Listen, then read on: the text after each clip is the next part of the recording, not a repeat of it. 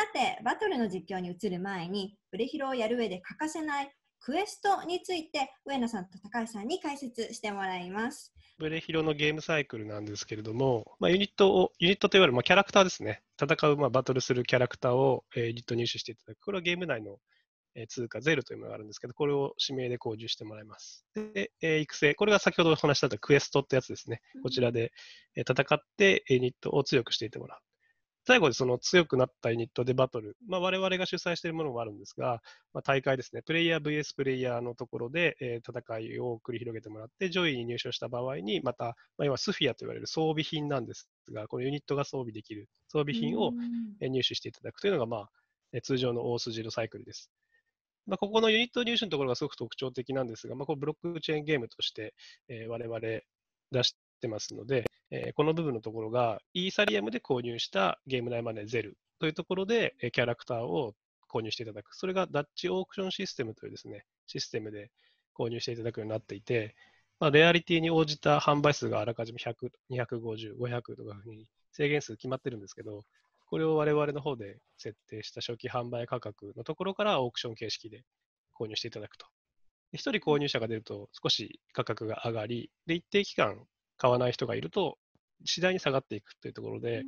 まあ、自分がそのキャラクターの価値を見越した上でですね、どのぐらいの相場価格で買おうかなっていうのが、えまあ、一つユニット入手のキーとなるところであります。でクエストの方はですね、まあ、実は結構ゲーム的にはシンプルなゲームでして、このキャラクターが5体で1パーティーの編成になるんですが、このパーティーの編成と、先ほど話したスフィアと呼ばれる装備品の組み合わせというところで、まあ、自分の想定するパーティーを作り上げて臨んでもらうと。で、クエスト自体はスタートすると、基本的にタップしていて、えー、見ていれば進むようなライトな仕上がりになっています。なるほど。はい、でこのユニットやスフィアというものが、まあ、デジタルアセットとして NFT 等で取引ができる自分の資産になりますよというところがこのブロックチェーンゲームとしての、えー、特徴のところですね。なるほど。はい先ほどもちょっとイーサリアムっていうお話も出たんですけど、はい、その取引所で交換可能であるっていうことなんですかね？そうですね。あの NFT のノンファージブルトークンのマーケットプレイスというところで、えー、我々ブレヒロもそうですが、ゲームのデジタルアセットを NFT 化してですね、それをプレイヤー間で売り買いできますよと。でこれが今、先ほどお話しした自分のアセットと言われる、まあ、それはキャラクターだったり、装備品だったりというアイテムを、えー、 OpenSea だったりとか、国内ではミームさんだったりとか、複数のこの取引所ですね。ここに登録して、えー、値付けを自分でしていただくことで、えー、ユーザー間で交換ができると。取引ができる。イーサリアムを介して取引ができる。それ以外にも、えー、NFT コンバートという形で、別のゲームの間で共通となっているアイテムやキャラクターっていうのをこうコンバートできる、まあ、移動することができるみたいなのがありまして、すでにあのダブルジャンプ東京さんが、えー、1年半前から提供されているマイクリプトヒーローズの方からですね、えー、今年1月に出ましたブレイブフロンティアヒーローズの方にもコンバートが行われるようになっています。でこの右下のあのでっかい注射針を持っているキャラクターがナイチンゲールキャラクターなんですけど、もうこのキャラクターは今もうコンバートが可能な状態でサービス提供しています。あなるほど、あそういうふうにシェアもできるっていうことなんですね。そうですね。ゲームとゲームの間でも、そのゲームゲーム間での取引の形がもう整っていれば、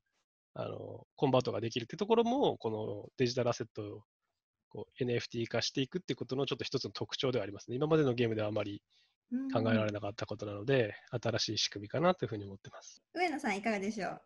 そうですね、えっとまあ、イーサリアム上の NFT、まあ、あの主には、e、あの ERC721 とかで扱われてますけど、これの面白いところは、あのまあ、今までそのゲームでどういうあのキャラクターとかアイテムを扱うにはどういう仕様にしましょうみたいな決め事なんて今まで一切なかったんですけど、はい、だからそのイーサリアム上だと、まあ、ERC721 とかで、えっとまあ、NFT を扱いましょうとかっていうふうになってくると、まあ、それに基づいてみんなその、まあ、デジタルアセットっていうのを作ります。そうすると、あの ERC721、NFT の仕様に基づいてゲームを作ったり、あのマーケットプレイスを作ったり、何かを作ったりっていうのを同時多発的にこうその NFT をとにかくエコシステムっていうのがあの作られていて、まあ、それがその NFT のそのエコシステムっていうのをさらに拡大する面白さの要素でもあると。ここが結構魅力的な、てか面白いところではある。あなるほど、まあベースは決まっているけどあとは結構自由に自分でいろいろできるってことなんですね。そうですね。まあ、従来のこう我々が手がけてきていているようなソーシャルゲームとかですと、いわゆるキャラクターのガチャみたいなもので、ユーザーさんはまあお金を出してしまえば極端な話、キャラクターはいくらでも無制限に取得することができたんですけど、今回、まあ、マイクリプトヒーローズさんもそうされていたように、キャラクターの数だったりとか、この装備品の数が有限であるっていうのは、そういう観点からいくと珍しいというか、従来とは逆の発想になっていて、だからこそそれを所有している人がこう価値が高いものを持てるチャンスがあるだったりとか、それをユーザー間に取引するっていう面白いことですし、まあ、すごくその取引上のところからその運営元にですね、いくばくかの手数料が入ってくるっていう循環もですね、非常にこれよくできてるなというのが、まあ、ブロックチェーンゲームっていうものが出てきたときにすごく仕組みを聞いて感心したというか、面白いなと思ったところですね。そうですよね。そういう部分で新しいし画期的っていう感じですよね。そうですね。なるほど。もうブロックチェーンゲームはもうそのね楽しいだけではなく、まあ、それ以外の価値を生むという点がだんだんと分かってきました。まあ、通勤時間のね、寝ことか寝る前のちょっとした時間とか、このクエストをすることが、まあ、仕事になりそうですよね。上野さん、クエストは暗号資産業界でいうところのマイニングと似ていると聞いたことがあるんですが、こちらはどういうことか教えてもらっていいですか？よくご存知で。はい。まあ、先ほどその、えっと、高橋さんからもご説明あった通り、あのまあえっと、ブレイブフロンティア、まあ、ブレフヒロでいうところのユニット NFT、はい、もしくはマイクリでいうところのヒーロー NFT みたいな NFT をあのたくさん持ってる方が、まあ、よりクエストに何度も挑戦できて、まあ、クエストクリアも簡単になる。そしてクエストを何度も行った暁には、ワンチャン何かあのいい NFT がさらにゲットできるかもしれないみたいなあのサイクルがあって、まあ、それはあったかもちょっとマイニングに似てるよねっていうところユニットとか、まあ、ヒーローという NFT が、まあ、あたかもサーバーみたいなもので繰り返しクエスト行くっていうところでこうマイニングするみたいなところが、まあ、雰囲気が似てるっていうところはあります。これもともとそのブロックチェーンゲームでそのいろんなまああの良さっていうのはあるんですけど、まあ、もちろんそのブロックチェーン自体にもさまざまな機能性というか、まあ、いろいろ実用的な部分はあると思うんですけどマイクリを作る時に、まあ、1個思ったのがとはいえブロックチェーンという技術とか実用性で初めに、まあ、このこのこのなんていうかこの段階でそのブロックチェーンの業界に入ってきてる人っていうのはそれだけで来たわけじゃないと思うんですよ。ブロックチェーン自体の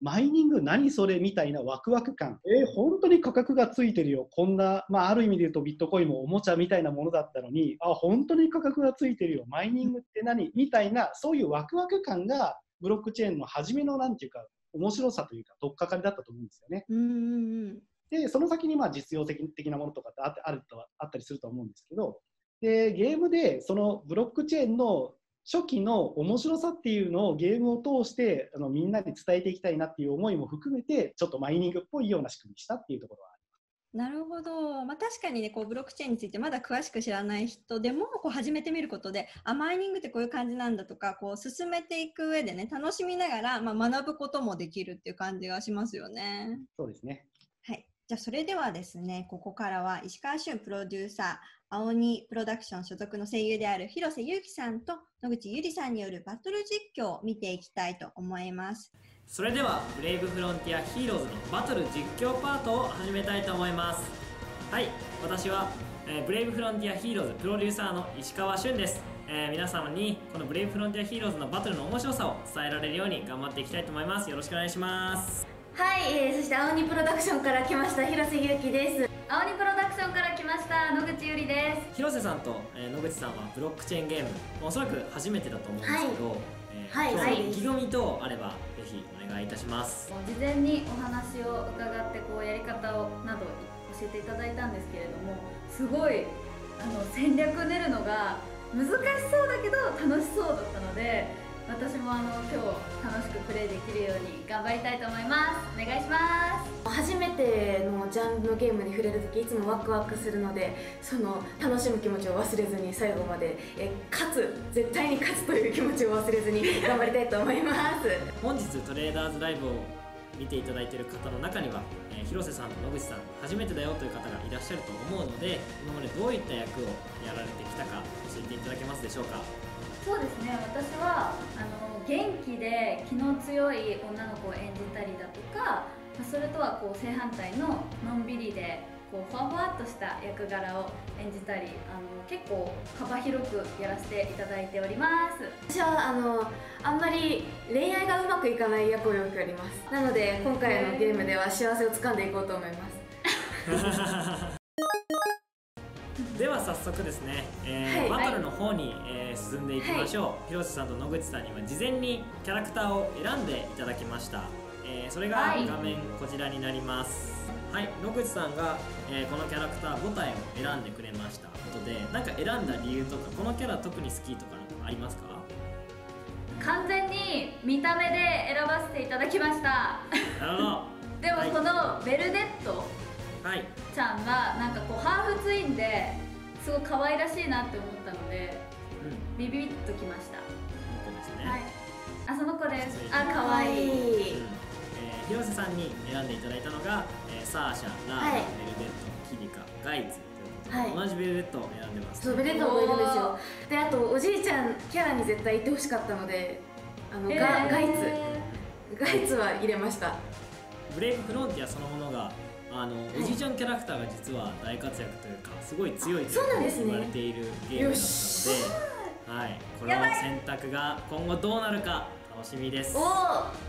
ーそれでは、えーこのおはい。二人の見た目と、えーなんとなくで選んだ戦いがどうなるのか、い。えー早速見てみましょ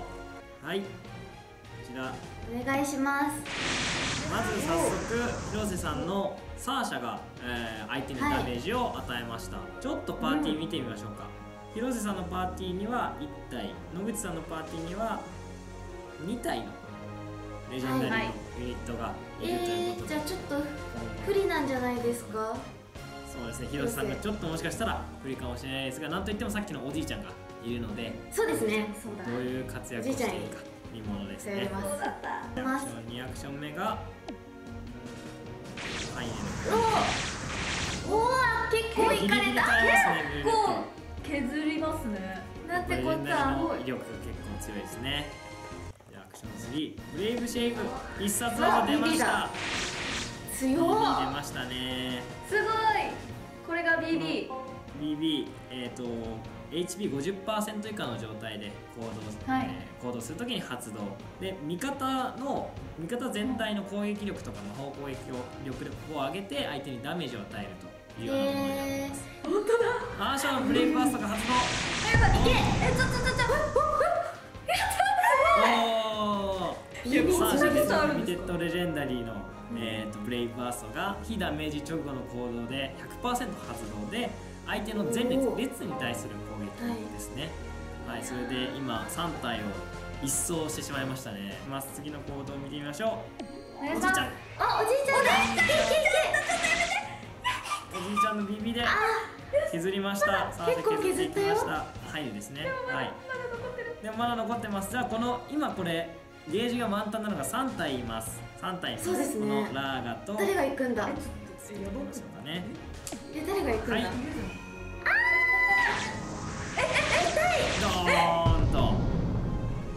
一斉に発動して。なんだこれ？最後。発動しましたがいけいけいけ。あーかなわず。あこれ？で野口さんが勝利というような。やった！バトルになります。おめでとうございます。ーなんった？はいえーということで1回戦はあの見た目とストーリーだけで、えーパーティー選んでもらいましたが、ちょっとリベンジしたくないですか、したいです。えできるんですか？じゃあ一緒にリベンジしていきましょうということで。今度は、はい。あの私、えー石川とあのそれぞれ広瀬さんそして野口さんとあの編成タイムを取ってちょっと戦略を一緒に練って、えー第2回戦いければいいなというふうに思ってます。おお最高じゃないですか。はい、最高でしかもバランスの取れたパーティーになってますね。うん。これで勝ってなかったらもうダメです。夢のようなパーティーができました。削られてってこうセット詰まった時にこう BB がこうすごい発動されていくことを望みます、うんうんうん、うん。はい。そうですよね。そこで一気にここれ逆転う逆転したい。はいはいそれじゃあ2回戦はい。始めていきます、よろしくお願いしよます。しお願いします。それぞれどんなコンセプトで組んだのかちょっと簡単にえー、とお願いしたいんですがちょっと編成見てみましょうと、ね、私はですねおじいちゃんパーティーにしようと思ったんですけどランゲが挑発をします。で全部の攻撃を集めその隙にえキラとかガイツとかのキャラで集中攻撃していく。そんな2人の強化をするのがサーシャ。そんなみんなをサポートするために、えールカナちゃんが回復をしていくっていう火の打ちどころのないパーティーになってます。はいありがとうございます、ありがとうございます。野口さんのパーティーもはい。どういったコンセプトか教えてください。私はとにかくガンガン全体攻撃で攻めて攻めて攻めまくる。わ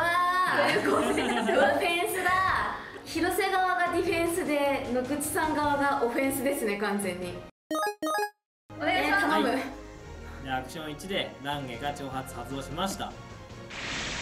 先ほども大活躍だったサーシャが、えー攻撃を打っていきますここでサーシャにダメージがいきました。サーシャのさっきの BB 覚えてますか、覚えてます。やダメージはい。ダメージ食らった次。でやめてくれ、はい。強い。ダメージを打つとだから次までサーシャが生きてたらい。けすますよねやめて、はい。さあどうなるかい。きサますーシャい。けやめてイエーイ強っやっぱねレジェンダリーやっぱ強い。んですよやっぱその分数が少ない。ってい。うのはあるんですけどレジェンダリーって本当に強くてこれ見てる方サーシャ欲しくなりますね。やめて本当にやめてよ。頼みの綱のハイネがやられてしまいました。やめてよち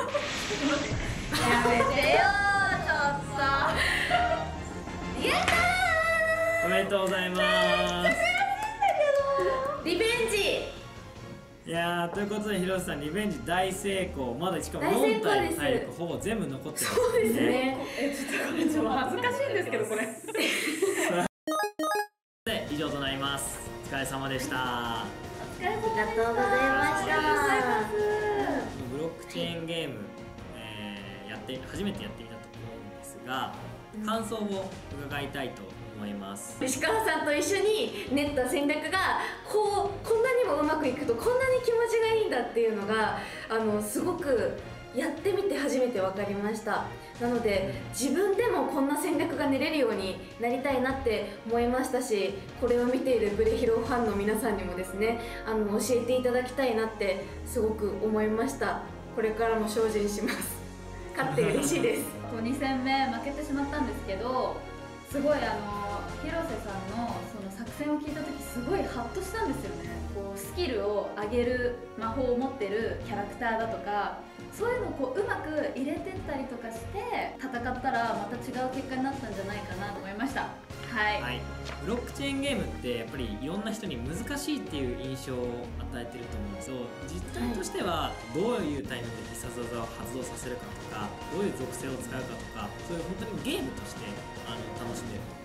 でそのバトルとか編成がうまいと大会で上位になってその報酬をあの NFT としてブロックチェーンのアイテムとして得るそしてそれはユーザーさん自身のものになるっていうような新しい体験をこのブレイブフロンティアヒーローズ通していろんな人に届けられればいいなと思ってます、えーそれでは、えー、と小麦さん上野さん高橋さんにお戻しします。ありがとうございました。ありがとうございました。ありがとうございました。はい、ということで白熱していましたね。そしてまあ見た目で選ぶのはあんまりっていうのも分かったんですけど、はい、まず上野さんどうでしたか？俊平がなんかあの女の子に囲まれてう羨ましかったな ニヤニヤしてました。まあでも面白い、えーの戦いがああったので、まあ、あくまでちょっとバトルにあのフォーカスした話だったんですけど、まあ、その周りのそのバトルを取り囲むアウトゲームって言われる部分もバあのブロックチェーンゲームとしては面白い部分なんで、ぜひ皆さんあの一度体験してくれればあありがたいなというふうに考えております。なるほど、ありがとうございます。高橋さんいかがでしたか？そうですね、まあ、ちょっとブロックチェーンゲームって紹介してるので、まあブロックチェーンゲームってさっきの2部の時にも話したんですけど、定義がね、結構難しいんですよね。うん。で今、今ご紹介した部分って、何のことはないゲームの話してるんですよ。うん。確かに普通に、はい、ブレヒロと言われるあるとあるゲームの話で、そのバトル部分とか、楽しむポイントがどこかの話をしているのであって、まあ、あの部分だけ取り出す取り出せば、まあ、オンライン上の、まあ、割とライトな形で体験を楽しめる、まあ、ロールプレイング系のゲームであるっていうことだとは思ってるんですが、まあ、そこに関わっているさっき出てきたキャラクターですね、すべてのキャラクターと、そのキャラクターに装備させている、えー装備品っていうものが NFT 化できるので、ユーザー間取引が可能になってるよっていうところで、ブロックチェーンとの接点を持っているっていう意味なので、まあ、この接点の取り取られ方っていうのが、まあ、どの程度投資的な話だったりとか、まあ、そこで収益を得るモデルだったりとか、もしくはまあゲームをやめるときに一部分お金が返ってくるってことに重きを置くかとか、ユーザー間でそのデータをやり取りすることがゲーム性自体にどれぐらい強く関わっているかっていうのは、ゲームによってまちまちだよっていうのが、まあ。ブロックチェーンゲームって何なのっていう時の正解かなとは思いますね。なるほど。はい。そういう意味では、ブレヒロは、あれですね、べったりそのブロックチェーンゲームとしてベースラインが設計されているかというと、まあ、すややライライトなのかなとは思いますけどね。うん確かに今のはバトルシーンだったんですけど、なんか普通にね、普通のゲームです。まあなんかあんまりブロックチェーンっていうその概念にとらわれず普通に楽しめるから、まあなんか初心者でも入りやすいかなっていう感じはしました、そうです。ね。さっきの VTR 自体はもうブロックチェーン一切関係ないです。ひたすらもう本当真剣に戦ってましたよね。はい、はい、そうですね。はい。はい、でそのブレヒロの醍醐味の一つはその VTR にもあった編成のパートなんですよね。でその VTR の1回戦目はその見た目で選んだパーティーであってで2回戦目は戦略を、ね、立てて選んだパーティーでしたよね。で改めてその2回戦目のパーティーを比べて見ていきたいと思います。野口さんがね負けてしまったわけなんですが、うんまあ改めてこちらの敗因について分析お願いします。はい。えーまあ、さっきちょっと極端な例をこれ作り出そうとはしていたんですけど、まあ、最後、あ前半はあのゆうきさんの方が有利な展開で進んでいたんですが、うんまあ、一発逆転的な形で野口さんの方のパーティーの方の右上のキャラクター、まあ、ハイネというキャラクターが条件を満たすとですね、全体に攻撃を繰り出すというところだったので、えー劣勢のところから一気に大逆転するっていう図を、えーまあ、春ーがわざと仕込んで出したんだと思うんですけど、まあ、こういうふうにですね、あのキャラクターそれぞれにいろいろな特技、特性があるんですね。うんうんうん。で、この装備品にもそれぞれそういう特性がついているので、どのキャラクターにどういう装備品をかけて、どういう役割を担わせようみたいなところで、さっき VTR 中もありましたけど、ブレイブバーストと言われる必殺技が、まあ、自分の意図した通りの順番とかだったりですね、状況で発動するかどうかみたいなものが勝敗の明暗を分けるので、うんまあ、そこをですね、イメージしてもらってセッティングし、まあ、果たして相手との相性もあるんで、それがい予定通りとか、目論見通り、こう、はまるかどうかみたいなことを見ていただくってところは、すごくカタルシスもあって、面白い要素になるのかなって思いますね。なるほど、はいやっぱりそのキャラクターによってその特性とか、まあ、さっきも名前出てたのがそのレジェンダリーだったりとかそのおじいちゃんキャラは結構強いとかそういうふうにやっぱりそれぞれ特徴をあらかじめ知っておくとこう編成もしやすいっていう感じなんですかね。そうですね。基本的にはその能力の詳細もですね、先ほどお話ししたあの、えーダッチオークションシステムで売り出しますよっていう時に、すべて事前に全公開してますんで、うん、なるほど。はい、中身の性能を全部見ていただいて、理解していただいた上で、今回は買いかなとか、自分のパーティーに、編成にこれは必要かなみたいなことを判断できるようにも全てなっています。うん、なるほど。このレベルも結構関係してくるんですかね、キャラあクターのレベルはこの、まあ、シンプルにこのレベル1から上がっていくことによって、パラメータの数値自体が上がっていきますので、まあ、基礎能力が高まっていくイメージですね。あーなるほど。はい、でこのレベルを上げる行為自体が先ほどお話ししたクエストを実行していくことによって、まあ、じわじわと上がっていく。こまめにこう時間を使ってですね、あの訓練していくとうんいうイメージになりますね。訓練が高ければ高いほどレベルも高くなっていて、このバトルの時にも力を発揮できると。まあ、この辺もゲームとしては通常というか、よく、ね。よくあるうんゲームのモデルでありますんで、特別なところはないと思いますけど、はい。うん。一般的なゲーム。うん、感覚的にもつかみやすいですよね。はい。そのブレヒロはなんか不定期でユーザー全員が参加できる大会があるそうなんですが、上野さん、そちらについて教えていただけますか？あのブレイブフロンティアヒーローズっていうのを検索していただいて、はい。まずいただくのが一番いいのかなというふうに考えます。ああ、なるほど。まあ、じゃあ定期的にそういうふうに不定期でたまに起きてて、そこでみんなでバトルできるっていう感じなんですかね。そうですね、えっと、みんなで戦う、まあ、その自分が持ってるその NFT、まあ、ある意味ああの、えーまあ、アセットみたいなものっていうので戦えるっていうところが面白くて、まあ、よくそのユーザーさんからまあ言われたりするのが、まあ、例えば株とかで、うんまあ、もちろんその、えっと、値上がりするかなどうかなとかっていうのは、まあ、あるものの、まあまあ、もちろん議決権とかあるものの、それで別に遊べるわけじゃないと。うんうんうんなんか、なので NFT ある意味遊べる株券だよねみたいな方に言われたりするんですけど、まあ、そういうふうなこうその、えっと、デジタルアセットっていうものを用いて遊ぶっていうこ行為自体に面白さがあるのかなというふうに考えています。ああ、なるほど、うん確かに。そうですね。まあ、ブレヒロのその運営のサイクルを言ってしまうと、もうすごい分かりやすく言っちゃうと、こう、今お話ししたようなユーザーさんの同士の野良試合みたいな戦いがまず大会としうんうんてちょこちょこ開催されているのと、それ以外にこう、ワールドカップみたいなものうん。が行われていて、国対国同士の戦いみたいえーな、オリンピック。に近いようなものも開催されますし、あとまあサッカーで例えればあれですね、あの、チャンピオンズリーグみたいな、ユーザーさん同士でこうギルドと言われるものを組んでもらっているので、魔人討伐隊という名前なんですが、まあ、その隊に入っていると、その隊同士の対抗戦、一番強いギルドはどこだみたいなものもありますし、まあ、そういうところでいろいろと自分の実力を発揮していただく。で、その戦いの過程の中で、このユニットはものすごく強いね、だったりとか、このスフィアと言われる装備品はとても価値があるね、みたいなものがトレンドとして生まれてくるんですね。でそれ自体がその NFT 化した時の価値であるよという意味につながっていて、でその価値が少しでも高いものを、まあ、一生懸命日々頑張って訓練することで手に入れたりであるとか、うんクエスト中にレアドロップするものとかもありますんで、そういう運も含めたところのものっていうのが、まあ、資産価値につながっていくというところが、まあ、ブロックチェーンゲームとして一番接点がシステムと強いところ、なるほど。深く関わっているところだと思います。うん。ね、価値も生み出していって、そしてね、そういうふうにチャンピオンシップがあると、よりやりがいをね、そのために頑張ろうとね、思いますよね。はい。ありがとうございます。ここからですね、まあ、視聴者の方からあの質問あにお答えしたいと思います。まず、高橋さんに来ていますね。はいソシャゲ配信していた方からして、はいブロックチェーンゲームに感じるハードルと関わってきた感じで、関わって感じた難しさとか期待っていうのはいかがでしょうかっていう質問ですね。まあ、さっきもちょっとちらっとお話を2部の時にしたんですけど、難しい面で言うと、そのやっぱり ブロックチェーンゲームそのものがその資産としての価値だったりとか、データ、ゲーム内のデータをユーザー間で取引することに意味や意義や、なんかいいところがあるっていうのを、まあ、うまく伝えようとするのは結構通常のゲームをプレイしている人にとっては難しいというか、うんうんうん。でみたいな話もありますし、ともすると強くそこを説明してしまうと、え、じゃあ稼ごうとするゲームなんですか？みたいな話だとか、まあいろんなバイアスがかかってきちゃうところあるので、まあ結構伝えるのが難しいな、現時点では。っていうのは大きくありますね。なんで、その意味では期待しているところとしては、別にブロックチェーンゲームではない普通のゲーム、オンラインゲームだったりとか、もうすでにそのゲームの中の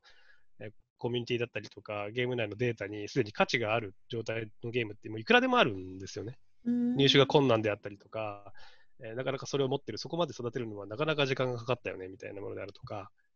まあ、そういうものっていうので、まあ、ブロックチェーンに対応していく、NFT 対応していく、でそこでお公にユーザー間データ取引をもういろんな法整備だったりとかもしした上で、えー対応していきますよっていうのがあると、すごく身近になるとも思っていて、ゲームを開発しているところからすると、早くそういうふうに認められる世界というか、もう NFT 使ってユーザー間取引するのって当たり前だからさ、みたいな時代に早く移行してくれれば、まあゲーム、はい、ゲームをデザインするときにそれを意識してデザインすることもできるし、まあ、それを意識してなくても、まあ、その部分に対応してあげるとより深いユーザー体験だったりとか、ユーザーさん自身が喜ぶよねだったりとか、うんいう部分が増えてくるので、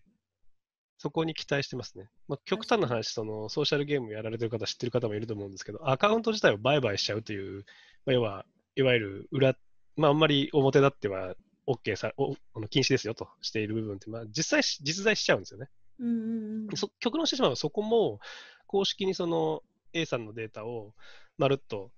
B さんにが購入して引き継ぎますみたいなことをやった場合って、下手するとですね、3社丸く収まるウィンウィンウィンが発生する可能性はあって、うんうんうん運営元である我々はエンドユーザーが減らない。で、やめようと思ってる方は、今までかけてきた時間や情熱がある意味での資産にある程度転換して戻ってくる。で、ネガティブな思いをせずにそのゲームから 足を洗うというか、終了することが、卒業することができて、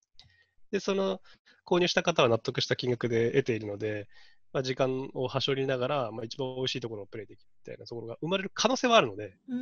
んまあ、そういう部分に期待するところもあるなと思っていて、まあ、早くいろいろな整備が行われるといいなと、個人的には思ってます。なるほど。はいっていう点ではもうプレヒロはちょっと時代の一歩先を進んでるというか、あビルブルヒロはそこ、あの、たまたまダブルジャンプさんと近しい位置にも入れたので、我々自身もその未来に対して、まあ、まあ体験してみようと。提供してみないと分かんないこといっぱいあるんで。うん、いいですよね。逆にね、時代がそっちに追いついてくるっていうね、感じもしますもんね。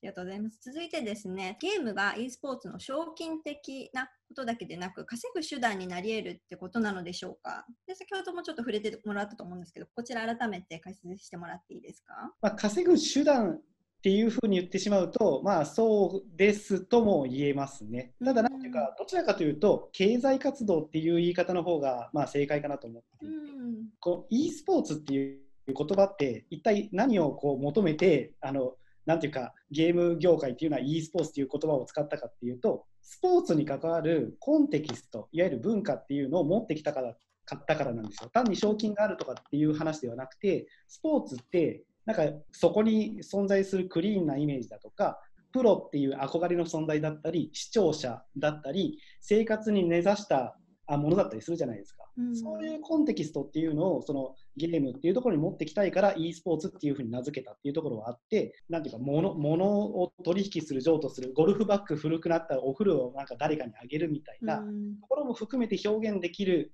うような、まあ、あー技術の一つとしてブロックチェーンっていうのがあるかなというふうに思っていて、まあ、その過程、そのなんていうか、大きいそういう枠の中で e スポーツっていうコンテキスト、文化っていう枠の中のあの一つとして稼ぐっていうところも存在するのかなっていうふうな捉え方をしています。うんそれ自体、それだけがあの注目される要素ではないというふうに思ってます。うん高橋さんいかがでしょう？そうですね。それ、そうですね。稼ぐ手段っていうとワードが強いんで、あれなんですけど、なんかゲゲーム、あまあ、スポーツって、まあ、要は稼げるというか、ショービジネスとしてせもうすでに成立して久しくて、まあ、トッププロの選手たちは技術が高ければお金が稼げる、あるんですけど、ゲームもその発想で e スポーツが出てきて、で基本的に上手い人は上位に大会で入って賞金を得られるかもしれないってことが最初に着目されたんだと思うんですけど、さっきから我々が話しているこのブロックチェーンゲームの仕組みっていうのは、別にゲームプレイが飛び抜けて上手くなくても、その資産を形成して、その資産を売る価値があるゲーム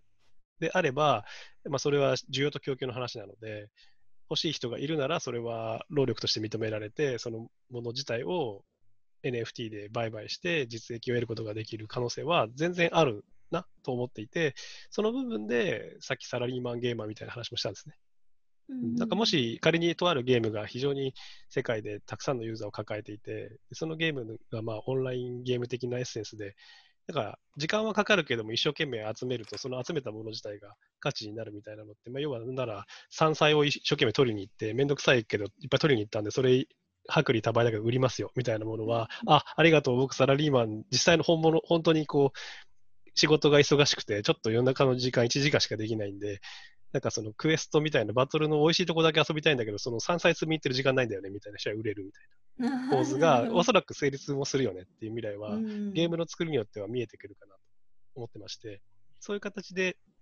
ゲームをしながら、えー何かしら収益を得る、得ながら、しかもかつた自分自身も楽しむみたいなことが、要は時間を割ける人は時間を割いてプレイする、技術を割く人は技術を生かしてプレイするみたいなことで、まあ、いわゆるスポーツって枠組みよりもちょっと広いカテゴライズの中で、何かしら収益だったり資産を得ることはできうるよねって思います。はい、さてですね、トレーダーズライブの応援パートナーである D カレットで講座を開くと、プレヒロをプレイするにあたってお得なことがあるみたいですね。先ほどの広瀬さんと野口さんに教えてもらいましょう。今回の第3回トレーダーズライブに出演いただいたダブルジャンプ東京と T カレットからキャンペーンがありますブロックチェーンゲームを皆さんに体験してほしいということで仮想通貨交換所 D カレットの口座を開設していただき1イーサリアム以上を購入。その1イーサリアム以上でブレヒロで使える通貨ゼルを購入。すると20%分のゼルがさらにボーナスでもらえます。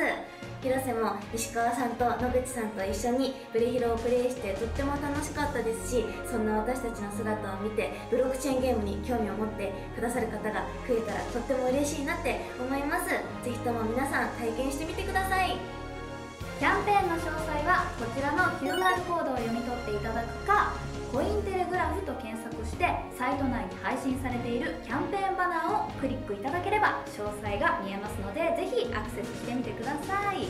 えーそしてさらに今回こちらのイベントをご視聴いただいた方には、えー私たちの寄せ書きサイン入り色紙も抽選で5名様にプレゼントいたしますえー当選者へは6月9日から2週間以内にコインテレグラフから連絡をいただけるとのことなので、え発表をお待ちください。また D カレットのトレーディング担当マネージャーである小林さんももう一度お呼びして D カレットについてもう少し詳しく教えてもらいましょう。小林さんお願いします。はい、えっ、と、D カレットのトレーディング担当、小林です。まずですね、えっ、と、当社、えっ、と、D カレットなんですけど、えっ、と、こちらご覧にいただけますでしょうか。はい。いいですかね。はい。えっと、まず D カレットなんですけれども、D カレットの特徴としましては、えっと、強固なセキュリティ、えー規制強化後、初の新規参入登録業者というところでですね、ええ暗号資産を取り扱っております。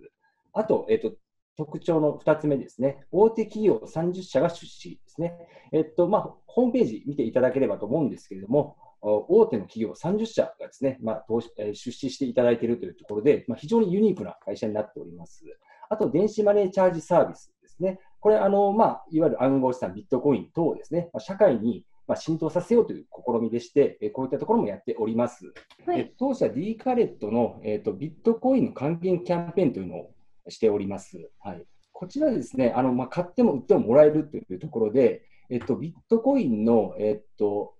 1ビットコイン以上ですね、お取引した場合について、えっと、0.5%のビットコインを還元いたしますよというところですね。はい、こちらのキャンペーン対象は現物となっております。こういったのはあの、まあ、今日あの発表いたしましてですね、あぜひあの、まあまあ、検討していただければと思っております。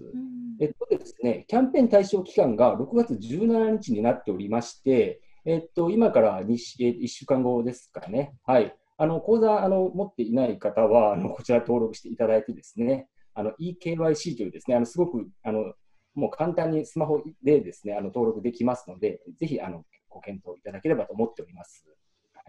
はい、以上になります。はい、ありがとうございます。それでは最後に上野さん、高橋さん、本日の感想をお願いしていいですか？はい、あの、え NFT、まあ、ブロックチェーン、NFT やブロックチェーンゲームの可能性についていろいろこう話せたので、まあ、非常に楽しかったです。ありがとうございました。ありがとうございます。はい、そうですね。あの、僕はゲームの分野から来たんですけど、まあ皆さんに少しでもこのゲームとブロックチェーンの持ってる素晴らしいところの融合した先にある、こう、新しい未来なものが伝わったらいいなと思います。まあ、放っておいても必ず来る未来だなとは思ってますが、できるだけそれには早く進むようにですね、微力ながら頑張っていきたいと思います。これからもよろしくお願いします。はい、ありがとうございます。私もですね、この、まあ、ゲームの世界でね、そういう生む価値が、まあ、現実世界にも通ずるというか、そういう部分が新しいし、画期的だし、逆にそれがだんだん当たり前になってくるのかなと思うと、余計にすごく興味が出てきました。とても勉強になりました。ありがとうございました。ありがとうございました。はい。まあということで本日は皆さんありがとうございました。